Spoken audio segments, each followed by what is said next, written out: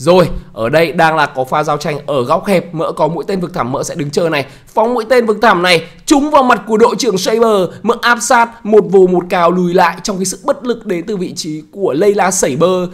Đó, nói chung là đây này, lúc nãy là thanh niên này đúng không? Lúc nãy thanh niên này bảo vệ bảo vệ đội trưởng của mình đúng không? Ở áp sát này, này thì Cyclops Saber với chúng tôi này When you gaze into the abyss, The abyss gazes back.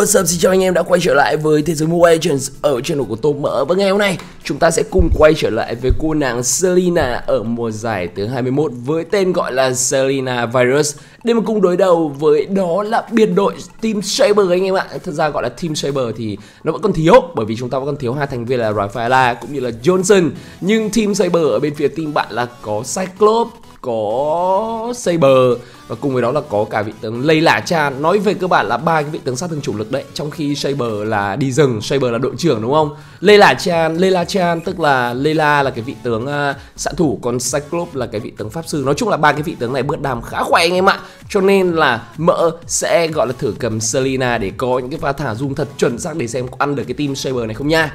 Thì Selina là một trong những cái vị tướng mà lâu lâu thi thoảng khoảng độ tầm 1 2 tháng nữa sẽ chơi trở lại. Anh em có biết tại sao như thế không ạ?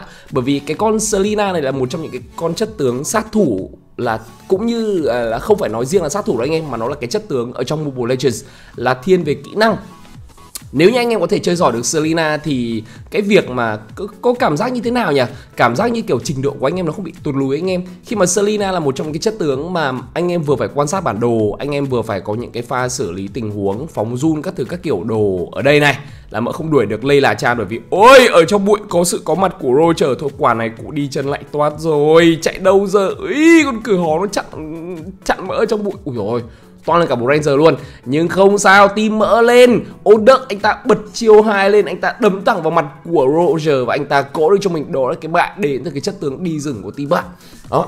Thế về cơ bản là cái con Selina này là đôi khi mình cũng phải chơi một cách thường xuyên và một thi thoảng mình cũng phải chơi lại. Anh em ạ không phải thường xuyên đâu mà thi thoảng mình cũng phải chơi lại để mà trình của mình nó không lụt đi. Để mà qua đó thì mình có được cho mình một cái gọi là là, là cái kỹ năng đúng không anh em? Chứ bình thường anh em chơi những cái chất tướng mà gây sát thương theo kiểu gọi là chọn mục tiêu chỉ định như kiểu tử long hoặc là chơi xạ thủ các thứ các kiểu thì mỡ khá chắc là khả năng quan sát bản đồ của em của anh em ở giai đoạn đầu game nó sẽ bị kém đi một chút xíu. Khả năng tính đam và tham gia giao tranh nó sẽ bị uh, kém đi chút đỉnh. Mỡ nghĩ là như vậy anh em ạ cho nên đôi khi cũng phải chơi những cái vị tướng cần kỹ năng như là linh như là selina các thứ các kiểu để mà chúng ta có được cho mình một cái thế trận nó ok là rồi thì um, quay trở lại đối với con uh, này đi.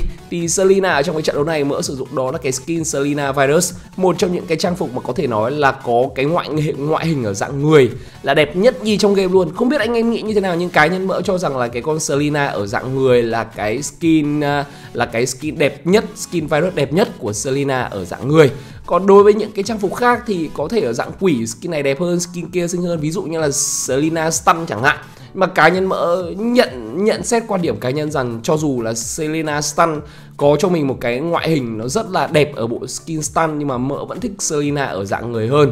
Với cái dáng đi với cả cái mái tóc thể đúng kiểu đặc trưng Selena luôn. Nói thật với anh em là skin Selena này không phải anh em thích nhận lúc nào thì cũng nhận được đâu nha. Bởi vì Selena Stun anh em sẽ có thể mở được hên xui thông qua một cái dương ánh sao Cái dương đấy thì nói thật với anh em là mỡ mở được từ cách đây 2 năm rồi. Nhưng mà có một số anh em bây giờ vẫn chưa mở được bởi vì gọi là nhân phẩm của anh em chưa tới anh em. Giờ ok Thì hy vọng là trong thời gian tới với cái sự kiên trì cũng như là nỗ lực của mình thì anh em có thể mở được ra nha. Ở đây sẽ là màn mở ờ, uh, múa mỡ uh, mỡ mỡ mua anh em ạ. KDA ở thời điểm hiện tại của mỡ vẫn đang hơi xui, nhưng mỡ vẫn đang có những cái phóng run chuẩn chỉ ở đây. Đặt bẫy là liên tục, nhưng Franco anh ta kéo Granger, nhưng Granger vẫn còn cái thanh tẩy anh ta lùi được ra. Mỡ tiếp tục phóng run, nhưng đó là một cái pha phóng run chuẩn xác. Lao vào bro lao vào đúng rồi lao vào bro. Mỡ có ba lần lượt đến từ cái việc tái kích hoạt và tận dụng cái ấn được kích hoạt đến từ cái mũi tên vực thẳm, cũng như là cái cạm bẫy vực thẳm trước đó và mỡ có được cho mình. Đó là cái bạn đầu tiên ở trong trận đấu này cái con Selina này này, nếu như mà anh em không nắm được cái combo ấy, thì để mỡ chia sẻ với anh em cái combo cơ bản của con Selina, có hai cách sử dụng chiêu thức cần biết để anh em nắm được ở cái con Selina này. Là như sau thứ nhất ý, cái con Selina này anh em lưu ý rằng là nó có tối đa ba cái bẫy đúng không? Nhưng mà mỗi lần thi triển kỹ năng thì Selina chỉ phóng ra một cái bẫy thôi, cho nên hai cái bẫy còn lại, anh em hãy đặt bẫy giống như mỡ. Nó là ví dụ như nếu anh em đi đường giữa đúng không? Anh em hãy đặt một cái bẫy ở bên trái, một cái bẫy ở bên phải để có thể coi như là cái mắt để kiểm soát tầm nhìn anh em. À chạy đâu này? Cyclop với chúng tôi này, đặt bẫy này, có đồng hồ định mệnh và mạng hỗ trợ thứ năm của bữa trong chậu này đó, nói chung là anh em hãy có thể đặt bẫy giống như mỡ hoặc anh em đặt ở đặt những cái bẫy mà anh em cảm giác là kẻ địch chúng nó sẽ bước đi qua. Ví dụ như là cái bẫy đặt ở trong cái phân bố xanh của team bạn bẫy đặt ở uh, cái phân bố đường trên. Nhưng quan trọng nhất là giai đoạn đầu game là bây giờ là qua giai đoạn đầu game rồi nha. Dạ, đây là khoảng giai đoạn tầm gần giữa game rồi. Thì giai đoạn đầu game anh em nên đặt bẫy ở cái đường giữa bụi bụi cỏ đường trên cũng như là bụi cỏ đường dưới. Nếu anh em đi đường giữa anh em hiểu không ạ? Đó đặt vào như này này. Thì cái bẫy này nó sẽ có tác dụng phát hiện tầm nhìn anh em nhá. Tầm nhìn của nó sẽ rất là ổn và rất là rộng luôn. Đó thì uh, chúng ta có ba cái bẫy thì chúng ta đặt hai cái. Anh em thấy không? Nhờ vào cái việc đặt bẫy cho nên là mỡ biết được một cái pha rình rập con cá mập đến từ vị trí của thanh niên Franco thanh niên bụng béo anh em kia. Đó thì ngoài cái việc đặt bẫy ra thì anh em cũng nên lưu ý rằng là, ủi, thế em cùng trùng nhỡ thanh niên này, kiểu hình như à thanh niên này không biết là là mỡ phát hiện ra anh em đứng trong bụi.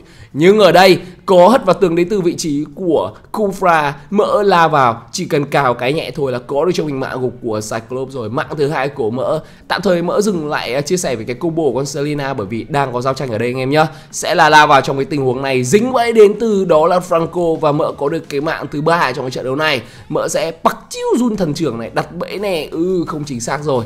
À, nhưng mà có vẻ như là team mỡ đang muốn có một cái pha vây hãm lấy đó là ờ, uh, Layla team bạn nhưng cô ta đã bằng một cách nào đó cô ta lùi về. Không cô ta không lùi về được chắc chắn là như vậy rồi.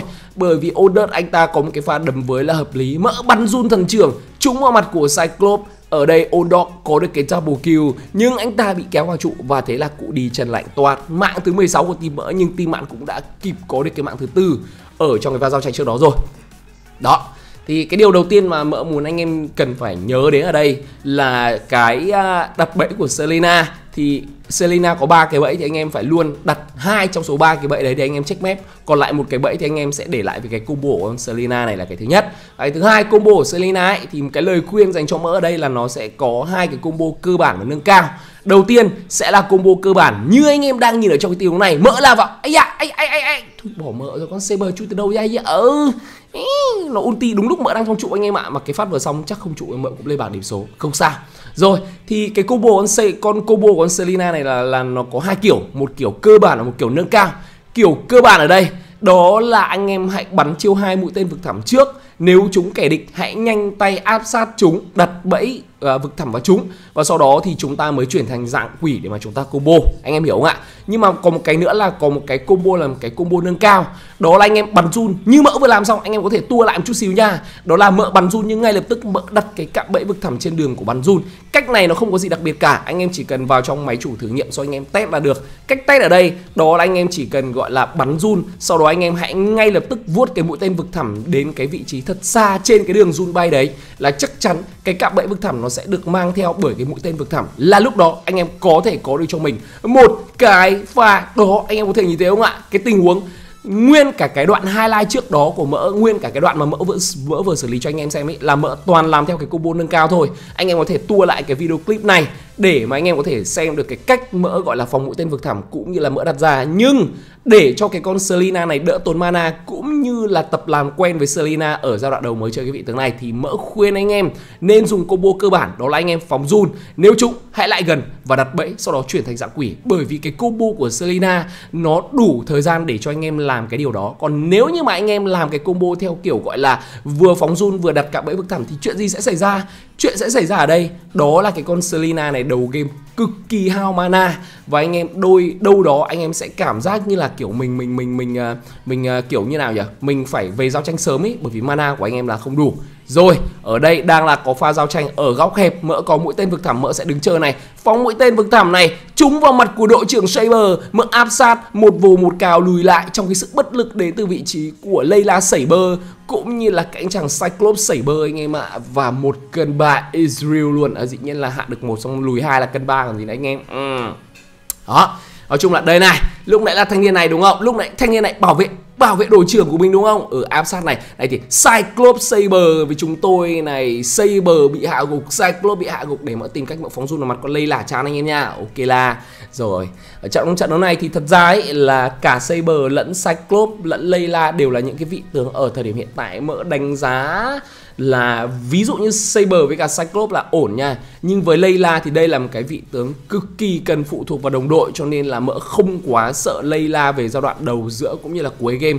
Mỡ chả có sợ nó giai đoạn nào cả anh em ạ. Mỡ chỉ sợ mỗi con Saber với cả Cyclops thôi.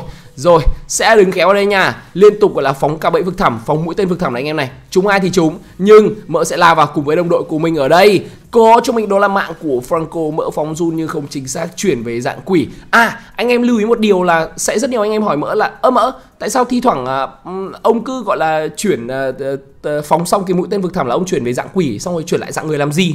Bởi vì anh em nên lưu ý rằng khi mà cái con Selina này nó liên tục luân chuyển từ dạng người về dạng quỷ của nó thì cái bộ kỹ năng của nó sẽ được reset hoặc anh em hiểu đơn giản ý, thì cái việc chuyển từ dạng người về dạng quỷ sẽ giúp cho con Selina có thể thực hiện combo nó nhanh chóng hơn. Đó, anh em hiểu không ạ? Bởi vì cái chiêu cuối của Selina nó chỉ hồi chiêu có khoảng 4 giây trong việc uh, trong cái việc gọi là chuyển từ dạng người về dạng quỷ mà thôi. Nhưng cái mũi tên vực thẳm nó lại hồi chiêu tận 7 giây. Cho nên một cái mẹo để mà chơi Selina ở đây đó là anh em khi mà anh em gọi là muốn chúng ta có thể phóng run nhanh anh em thấy không? Là anh em ngay lập tức chuyển liên tục từ dạng người về dạng quỷ cho mỡ. À, nếu như mà anh em phóng run mà anh em phóng run cảm thấy anh em phóng run trượt ý chuyển về dạng quỷ luôn, để cho nó rơi vào thời gian hồi chiêu sau đó anh em chuyển về dạng người, là anh em sẽ có được cho mình, đó là cái mũi tên vực thẳm nó được hồi chiêu rồi, ở đây, liên tục đặt bẫy này, mỡ biết ở trong bụi có thằng nào mà anh em mỡ tầm này cấu rỉa thôi. Đánh con Selina tầm này thì anh em chỉ cần đi cấu rỉa, đặt bẫy các thứ các kiểu để kiểm soát tầm nhìn cho đồng đội. Ở giai đoạn cuối game thì chúng ta sẽ không đánh hổ báo cáo trồn nữa và chúng ta sẽ đứng xa, chơi theo vai trò như là một cái con sát thủ hỗ trợ anh em ạ. Liên tục là cấu rỉa đặt bẫy này, phóng run. Kệ anh em, mình phóng run nhưng mình không vào, kệ cho đồng đội mình vào thôi. Anh em thấy không? Liên tục là những cái pha phóng run rất khó chịu bởi vì cái À, cái cái cái cái vị trí phóng run của chúng ta càng xa mà kẻ địch chúng thì cái thời gian chúng bị làm choáng càng lâu. Ở đây mỡ phóng run vào cyclope có được mã gục đến từ cái vị tướng uh, ở hỗ trợ này à vị tướng pháp sư này. Nhưng đây cũng có lẽ là cái kê dành cho team bạn khi mà chỉ còn mỗi lây là chan đang thủ nhà trong tuyệt vọng. Lót nó đã vào mang theo cái đợt lính được cường hóa. Và đây sẽ là cái end game rồi. Trước đây toàn bộ video clip mà mỡ muốn chia sẻ với anh em về Selena ở mùa giải thứ 21 và nếu anh em thấy cái video clip này thú vị đừng quên để lại cho mỡ một like đăng ký kênh nhà của anh em.